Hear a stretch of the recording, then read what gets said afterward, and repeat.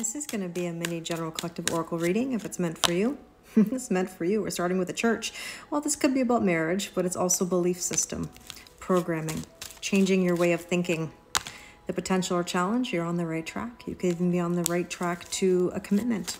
So, what should we focus on today? We have the woman. I want you in receiving energy, receiving mode activated. Now, your recent past is the world, completion of a cycle. See, you're ready to go to the next round, and whatever that may be.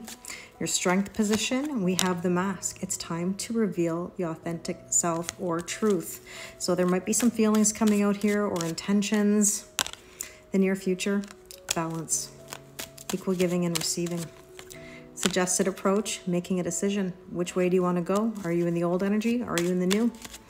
All right, what do we need to know?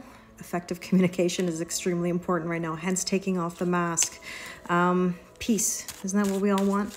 Now, the hope and or fear is the chariot. It's moving forward. Don't be afraid. The future is exciting, not scary.